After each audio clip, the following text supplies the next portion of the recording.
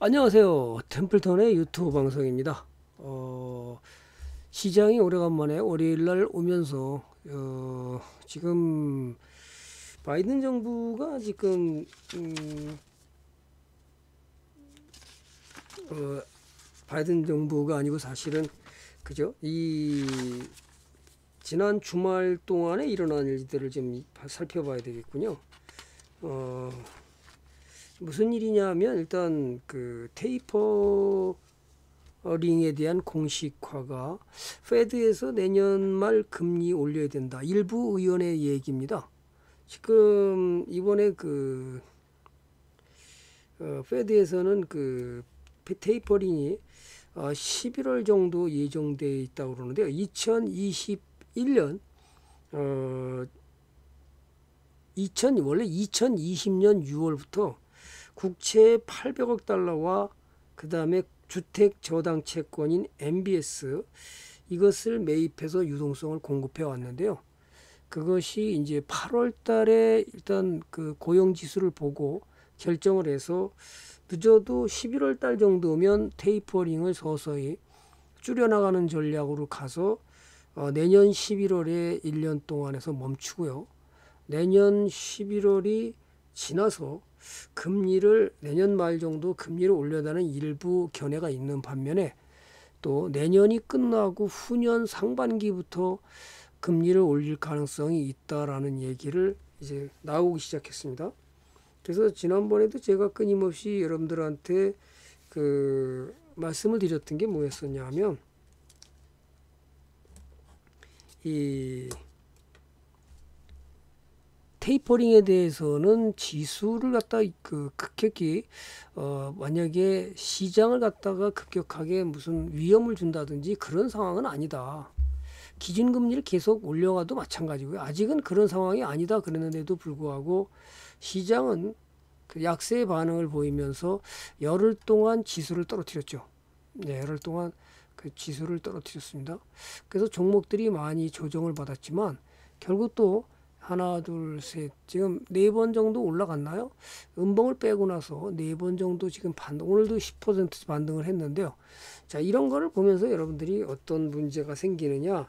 테이퍼링은 사실은 그렇게 시장을 갖다 붕괴시킬 정도의 그런 그 문제가 되는 게 아닙니다. 끊임없이 얘기를 했었고요. 그 다음에 음, 이제 남은 것은 뭐냐면 금리 기준금리를 올리는 건데 기준금리도 마찬가지입니다. 실제로 기준금리 올리기 시작하면 우리나라 시장도 기준금리를 올렸죠. 기준금리를 올리면 그것이 시장을 붕괴하는 정도는 아닙니다. 기준금리가 어느 정도 최소한도 3% 넘어가고 뭐 5%까지 간다든지 그러면 문제가 되지만 지금으로서 기준금리 0.25포인트 올린다 고해서 시장을 붕괴되는 건 아니거든요. 그럼에도 불구하고 투자자의 심리가 약세 마인드로 가서 그것을 전부 매도하고 다른 쪽으로 자꾸만 가려고 그러는데요. 그렇지 않습니다.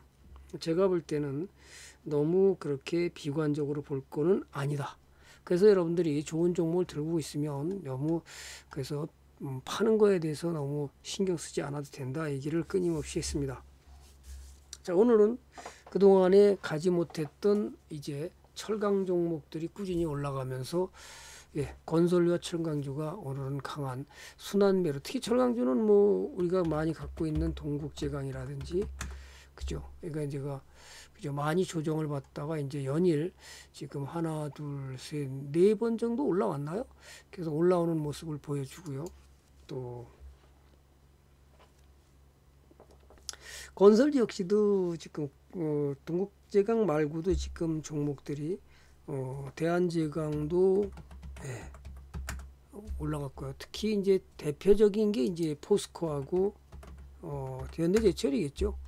대장이니까 포스코가 예, 지금 반등을 해줬고요. 그 다음에 현대제철이 반등을 했어요. 이미 방송에 나가서도 여러 번 언급을 했지만 이것이 뭐 당장 그 시장을 갖다 붕괴시키는 건 아니라고 제가 끊임없이 유튜브를 통해서 말씀을 드렸으니까 여러분이 그런 거를 잘 활용해서 주식을 들고 가면 좋은 일이 벌어진다는 걸 믿어야 됩니다. 믿어야 된다. 오늘 오래간만에 또 건설주도에 방송에 가서 출연했던 것이 코롱 글로벌입니다. 오늘 좀 강하게 올라왔죠. 떨어졌다가 예, 아무 이상이 없이 또 60선 올라타면서 넘어오고 있습니다. 그래서 어, 지수는 한 번씩 종목은 한 번씩 이렇게 그죠? 어, 지난번에 지수 조정할 때 조정만큼 다시 반등을 하고 있으니까 여러분들이 약세 마인드로 가지 마시고 좋은 종목을 어떻게 들고 가서 수익을 크게 낼 것이냐. 그죠? 이것이 더 중요하다. 이런 것을 여러분들이 갖고 가면 또 오늘 또 건설주 역시 코론 글로벌도 그렇지만 대표적인 우리나라의 대표 기업인 현대건설이라든지 그죠? 이런 것이 지금 반등을 하고 있다. 이렇게 보시면 여러분이 두려워할 이유는 아무것도 없다. 그죠? 그럼에도 불구하고 우리는 그죠? 지난번에 그 나쁜 그죠? 그 나쁘다 그러면 어떻게 되나요? 나쁜 손이라고 그래야 되나요? 지금 모건 스탠리가 어떻게 보면 그 우리나라 뿐만 아니라 반도체에 대한 나쁜 이미지를 퍼부으면서 예, 결국 테이퍼링까지 합치 합쳐가지고 지수를 내려뜨리고 그 다음에 사흘 만에 다시 삼성전자가 예, 사야 된다는 식으로 자기네들 뭐다 도 수익을 챙겼는지 어쩌는지 저는 잘 모릅니다. 그러나 가능성은 있다는 거죠. 삼성전자가 이렇게 떨어져서 못 가고 있는 상황에 벌어져 있죠.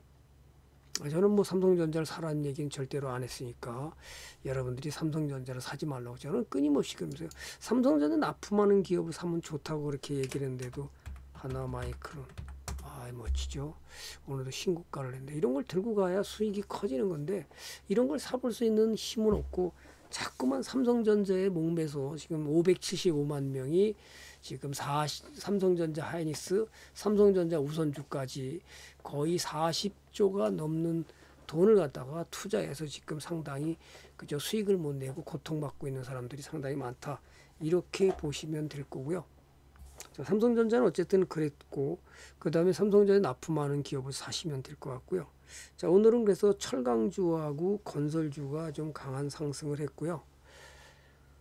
아, 그 다음에 이제 음, 그래서 이제 이것뿐만 아니라도 여러분들이 삼, 저기 어, 신원종합계열이라든지 그래서 삼기 신도시가 이제 동계 본격적으로 되니까 이게 좀 강하게 상한가를 갔습니다. 거기다가 지금 그 삼기 신도시가 어, 어떻게 되냐 하면 어, 국토부에서 의왕시, 군포시, 안산시, 화성시, 진안시의 신도시, 세종시대도 물론 택지를 보급하지만 이것이 수도권의 신규 공공택지 위치가 그죠? 예.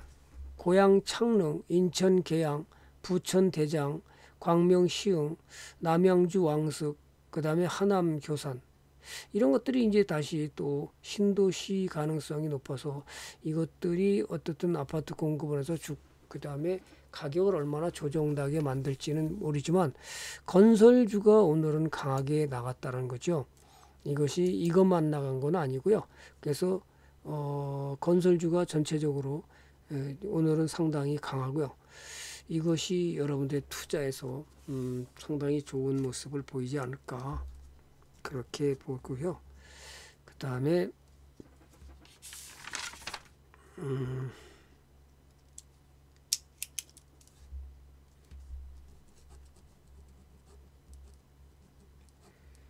그다음에 그 삼기 신도시하고 같이 가야 되기 때문에 얘만 나가는 게 아니라 당연히 어 무슨 문제가 생기냐면 시멘트가 나가는 거죠. 한일 시멘트가 상당히 신고가를 하면서 나가고 있습니다. 이것이 어 주도주가 가는 방향, 건설주가 주도주 가는 방향을 여러분들이 파악할 수 있어야 상당히 좋은데 그런 걸 보는 눈이 없다 보니까 자꾸 삼성전자 하이닉스에 몰빵하고 거기에 매몰돼 있다. 제가 끊임없이 얘기했죠. 좋은 종목을 어떻게 사갖고 와야 된다. 그걸 어떻게 사갖고 그 다음에 이제 또 하나가 이제 더 상당히 굉장히 중요한 내용이 하나 있죠. 그죠? 어, 지금 삼성전자의 스마트폰인 Z Fold 3하고 Z Flip 3가 상당히 수혜로다가 제가 이미 유튜브에서 알려줬듯이 그것이 나가는 것이 역시 파인 테크니크스라든지 이런 것을 참 볼 수 있는 눈이 커져야 되는데 이런 걸 못 보다 보니까 수익 가는 것을 잡지 못하는 이런 상황을 열심히 그래서 이게 유료 방송에 가입하는 거와 무료 방송에 있는 거하고는 많이 차이가 나죠. 저 그래서 갑자기 뭐 오늘 오늘도 우리 유료원이 그죠? 이종 어떤 종목이었더라? 그 이상한 종목 사서 손실을 그냥 너무 크게 가져가고 자르지도 못하는 것이 음 이런 것들. 예를 들어서 내추럴 엔도텍 이런 걸 써서도 40 손실 나가지고 지금 물려서 그래서 몇, 몇 백만 원, 오백만 원 정도 날라간다고 또 상한가 나간다고 추천을 받아가지고 그 지금 지금은 정지돼서 팔지도 못하고 제가 그죠 400만 원이 물려 있습니다. 그래서 팔지도 못하고 언제 해결될지도 모르는 상황으로 가고 있습니다. 여러분들이 돈을 벌면 벌지 못하면요. 그래서 사지 말아야 되는 거예요. 그죠? 뉴로스도 마찬가지죠. 이런 것들을 여러분들이 자꾸만 사가지고 아무것도 모르는 상태에서 기업을 분석해 보면 이게 돈이 아니거든요. 그죠? 영업이익 적자에다가 유보를 까먹고 앉아서 이렇게 하고 있는데 성장도 못하는 기업을 샀다가 이게 정지돼 가지고 이러지 해결이 안 되니까 돈을 전부 다 물려버려서 해결, 해결이 안 됩니다. 이렇게 주식 투자하면 안 된다는 거죠. 자, 그러면 왜 이런 문제가 생기냐? 기본적 분석이라는 것은 뭐냐면요. 네. 기본적 분석이라는 건 뭐죠? 숫자로 증명하는 거잖아요. 그럼 여기에는 인간의 심리는 없어요.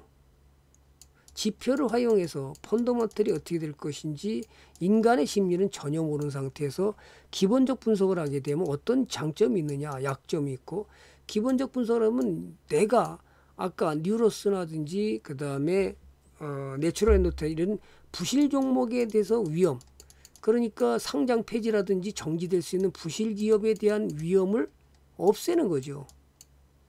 어, 두 번째, 그럼 기술적 분석이라는 건 뭐냐? 기술적 분석이라는 것은 차트에서 그 다음에 거래량과 추세와 이평선, 그 다음에 이런 것들이 뭐예요? 그 다음에 인간의 심리 이런 것이 기술적 분석에서 이루어지는데 기술적 분석이라는 건 뭐죠? 주가의 매수 그죠? 시장 방향이 어떻게 될 것이니 종목이 어떤 방향으로 갈지 해서 예, 차트를 보고 기술적 분석을 해서 여러분이 그 분석을 하게 되면 인간의 심리가 있으니까 심리를 통해서 여러분들이 연구하고 이것을 매수 타임을 적절한 매수 타임으로다가 추세를 따라서 얼마나 수익을 낼 것이냐 이런 것만 있을 뿐이지 이 기업이 망할지 아니면 떨어질지 알 수 있는 건 아무것도 없다라는 거죠. 왜요? 방향만 제시할 뿐이지 이 기업이 부실해서 망할 기업인지 아닌지 지표에 나타나지 이 기술적 분석에는 알아낼 수가 없다는 거죠. 다만 이제 장점이 상대방의 심리를 그죠 잘 파악할 수 있으니까 상당히 좋은 거죠. 이런 장단점이 있기 때문에 여러분들은 한쪽으로만 치우치지 말고 이거를 어떻게 다 비벼라.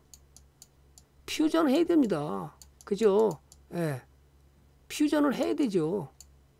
비벼가지고 어떻게 해요? 이것도 보고 이것도 두 가지를 볼 수 있어야 되지. 이거 하나만 보고 이거 안 보고 이거 이거 안 보고 이거 하나만 보고 이렇게 하면 안 된다는 거예요.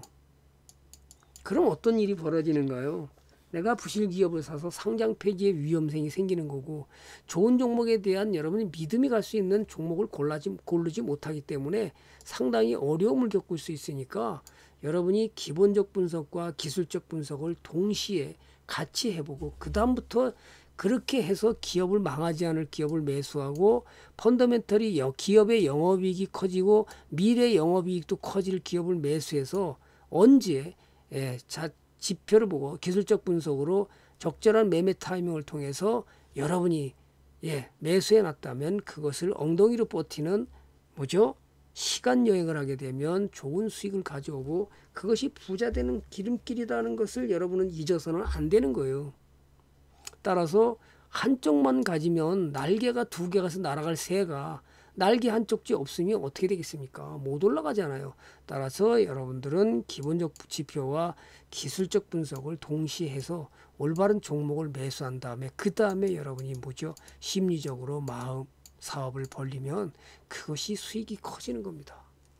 이거를 안 하고 이것만 하고 이것만 하면 또 여기만 하다 보면 여러분들은 반드시 힘든 상황이 올 수 있으니까 그래서 많은 전설적인 투자자 역시도 기본적 분석을 안 해서 기업이 망했었다.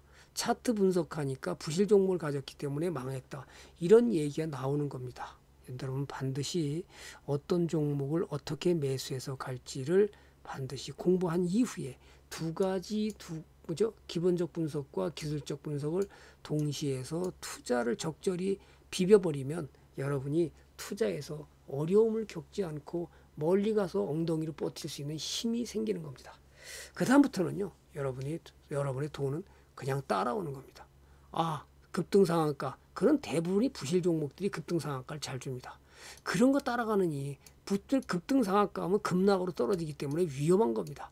꾸준히 꾸준히 서서히 가는 종목이 여러를 부자로 만들어준다는 거 절대로 우리 믿지 말, 잊지 말자. 그것이 여러분이 부자 된다는 걸 가져가면 결국은 투자로 인해서 수익은 저절로 따라오는 겁니다. 자, 오늘은 여기까지 여러분이 투자를 어떻게 해야 되는지 오늘은 비빔밥에 대해서 얘기를 했습니다.